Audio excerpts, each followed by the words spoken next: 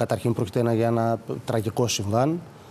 Ε, Εμείς θέσαμε ερωτήματα για τα οποία δεν πήραμε απάντηση από τον κύριο Δένδια. Όπως για παράδειγμα, γιατί η ελληνική αποστολή ταξίδευε με ένα τουριστικό βαν εφόσον πρόκειται για αποστολή της χώρας. Το δεύτερο, αν υπήρχε ή δεν υπήρχε προπορευόμενο όχημα συνοδευτικό. Ναι. Επίσης, γιατί ήταν σε ένα όχημα όλα τα μέλη της αποστολής και αν υπήρχαν εν τέλει επιχειρησιακές ευθύνες για αυτή την τραγωδία. Αυτά είναι ερωτήματα τα οποία πρέπει να απαντηθούν. Άρα για να φτάσουμε μέχρι την πλήρη διαλεύκαση της υπόθεσης πρέπει να απαντηθούν αυτά τα ερωτήματα. Ναι. Υπάρχουν κάποια αυτά μέτρα που ανακοινώθηκαν την Κυριακή από τον Πρωθυπουργό και εξειδικεύτηκαν χθες από τον κύριο Χατζηδάκη, που σας βρίσκουν σύμφωνο παράδειγμα αυξήσει της συντάξης, του μισθούς των δημοσίων υπαλλήλων από 1η 24, επίδομα θέρμανση ή κάποια άλλα από αυτά που ακούστηκαν. Τώρα μην τα λέω όλα. Κοιτάξτε, καταρχήν ε, εδώ το εισόδημα έχει πάει στα τάρταρα χρόνια, δεκαετίες πριν. Θα σας θυμίσω ότι πριν, πριν τις εκλογές το βασικό επίδικο και μάλιστα ζήσαμε παρετήσεις ΣΥΡΙΖΑ, Κατρούγκαλου κτλ. Ναι. και στο Πασό. Το θέμα με τους αυτοαπασχολούμενους ελεύθερους επαγγελματίες. Ασφαλιστικές φορές. Ναι. Ασφαλιστικές φορές. Ναι. Ότι θα ξεκινήσει πογκρόμ επίθεση ναι. σε αυτούς. Αυτό θα συμβεί. Μάλιστα, πρόσφατα είχαμε και νομοσχέδιο, υποτίθεται για την πάταξη της φοροδιαφυγής, που στην πραγματικότητα δεν πρόκειται για πάταξη της φοροδιαφυγής, αλλά ουσιαστικά για φοροασυλία των μεγάλων επιχειρηματικών ομήλων και πογκρόμ επίθεσης σε βάρος του αυτο, αυτοαπασχολούμενους. Μάλιστα, πάνω από 1,7 εκατομμύρια επαγγελματίες και αυτοαπασχολούμενοι που χρωστάνε ποσά πάνω από 10.000 ευρώ ε, θα τα εισπράξει μέχρι το τέλος του έτους. Δηλαδή πάνω από 1,6 δισεκατομμύρια ευρώ. Αυτή είναι η πραγματικότητα. Πάντως, Για... κύριε Συνδεχάκη, προφανώς υπάρχουν, δεν κρυβόμαστε στο δάχτυλό μας, το ζούμε σε άλλη χώρα.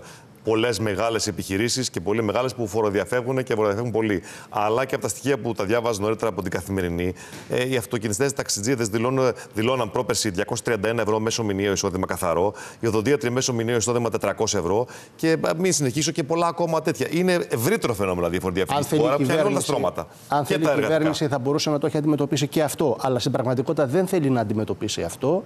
Γιατί θα σας πω κάτι τώρα, οι τράπεζες έχουν τον αναβαλόμενο φόρο. Ξέρετε πόσο είχαν κέρδη το 2022, πάνω από 2,5 δισεκατομμύρια ευρώ. Έχουμε φοροασυλία στους εφοπλιστές, πάνω από 50-55 ε, φοροαπαλλαγές. Ναι. Άρα λοιπόν, εάν θέλουμε να πιάσουμε το κεφάλι και όχι τη μαρίδα, ε, με συγχωρείτε πάρα πολύ, ε, ας επιβάλλει φορολογία 45% στο μεγάλο κεφάλαιο.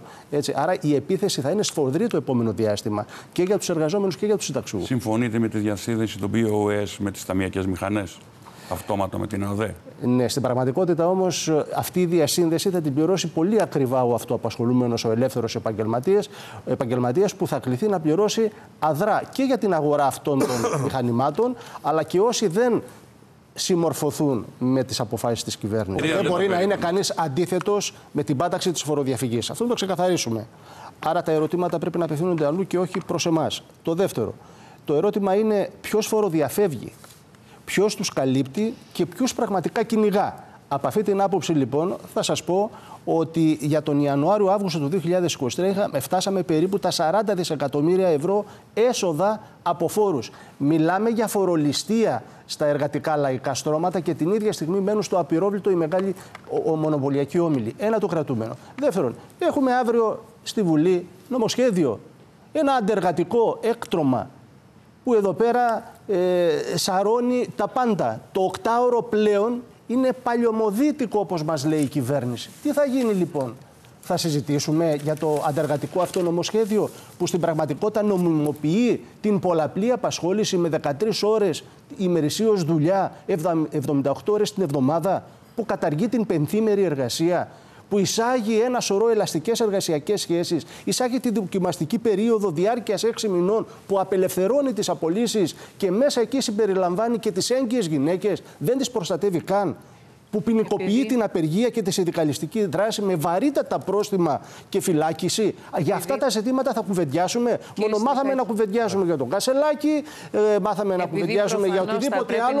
Εκτός από αυτά που πραγματικά απασχολούν τους εργαζόμενους. Για πάμε στον κύριο Συντιχάκη. Τον έφερε ο Κυριάκο Μητσοτάκης με την κυβέρνηση. Ένα άλλο κομμάτι της αριστεράς. Το Κομμουνιστικό Κόμμα Ελλάδας που σίγουρα σας αφορούν και εξελίξεις στον χώρο. Καταρχήν να πω ότι το αν είναι παροχημένο το οκτάωρο, επιτρέψτε μου. Α, ναι, Αν είναι παροχημένο ή όχι το οκτάωρο, σας παραπέμπω στις δηλώσεις του, του κυρίου Γεωργιάδη, που λέει ότι είναι παροχημένο σήμερα ο εργαζόμενος να ζει με το μισθό του και γιατί όχι να μην του δίνουμε τη δυνατότητα να δουλεύει και 13 ώρες την ημέρα. Δήλωσε Γεωργιάδη. Είναι αυτό μέσα στη Βουλή. Και μάλιστα ο κύριος Γεωργιάδης έχει δηλώσει ότι εκπροσωπεί και την εργοδοσία.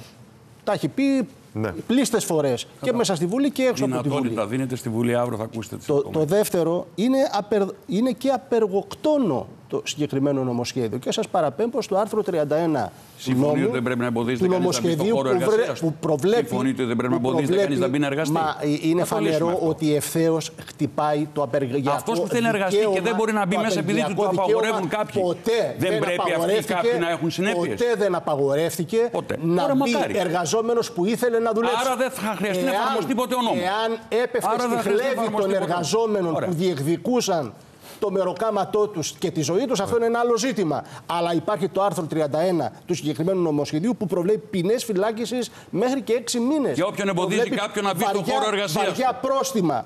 Ή... Διαβάστε το όλο το άρθρο. Βεβαίως, το έχω διαβάσει. Το, λέει. το θέμα αλλά, είναι πώς εφαρμόζονται όλα αυτά. Η κυβέρνηση παραπέμπει ακριβώς το να χτυπήσει το απεργιακό δικαίωμα και να επιβάλλει το φόβο και τον τρόπο. Το δικαίωμα της εργασίας, της απεργίας.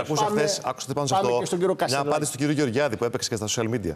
Ένα βιντεάκι που κόπηγε έπαιξε που λέει ότι απαντούσε ένα βουλευτή του Κουκουέ, δεν θυμάμαι ποιος ήταν. Στον κύριο Κατσότη. Στον κύριο Κατσότη και του λέει ότι στα κομμουνιστικά καθεστώτα έτσι κι αλλιώς δεν επιτρέπεται η απεργία. Δεν επιτρέπεται η απεργία. Ε, ε, τώρα, με συγχωρείτε, αλλά. Όχι, σας λέω το είπε ο κ. Γεωργιάδης. Συζητάμε τι τώρα. Συζητάμε όταν αφαιρείται το δικαίωμα στην ζωή, στην απεργία, το δικαίωμα στο μισθό, το δικαίωμα στη σύνταξη και δεν θα απεργήσει ο λαός. Λιμένα ζητήματα ήταν στις χώρες του υπαρκτού σοσιαλισμού αυτά τα. Α, γι' αυτό τα κορευόταν. Πάντως ανοίγουμε ένα κεφάλαιο που δεν μπορούμε να το ολοκληρώσουμε. Αν ένας λαός θέλει να αντιδράσει απέναντι σε αντιλαϊκές πολιτικές, ναι. μπορεί να το κάνει με οποιαδήπαποτε μορφή. Υπάρχει μια συνέχεια από τον νόμο Χατζηδάκη, τον αντεργατικό, που καταργήθηκαν οι περορίε, Για τον κύριο Κασελάκη. Το ζήτημα δεν είναι ο κύριος Κασελάκης ως πρόσωπο. Το ζήτημα είναι η πορεία και η διαδρομή του ΣΥΡΙΖΑ όλα αυτά τα χρόνια για να φτάνει να εκλέγει, αν τελικά συμβεί, προέδρους σαν τον κύριο Κασελάκη, ο οποίος τι, εφοπλιστής, ε, υποστηριχτής του Biden, του κυρίου Μητσοτάκη, κατά τα λεγόμενά του, και πολλά άλλα τα οποία έχει πει και με πολύ αντιδραστικές θέσεις σε πολλά ζητήματα, όπως για παράδειγμα για το μισθοφορικό στρατό. Άλλωστε, η σιωπή νομίζω είναι και ενοχή. Τι λέει για το αντεργατικό νομοσχέδιο που αύριο έρχεται στη Βουλή; Ωραία. Σήμερα θα και, και η Δημοκρατία; Που Και, την, και, και, και τα όσα παρέχει η κυβέρνηση Ωραία. σε αυτόν τον υπεριαλιστικό Ωραία. πόλεμο. Πάμε στον κύριο Γιωργαντά. Βοηθήστε μας κύριε Στεχάκη, δεν, δεν έχουμε χρόνο. Ε, να πω ναι. μόνο αυτό. Ναι. Ότι αυτή η πορεία του ΣΥΡΙΖΑ που οδηγεί σε, σε Λάκηδες την υπηρέτησε ο όλος ΣΥΡΙΖΑ. Όχι μόνο κάποιοι στο ΣΥΡΙΖΑ, ναι. όλος ΣΥΡΙΖΑ και οι υπόλοιποι υποψήφοι που τώρα πέφτουν από τα σύννεφα.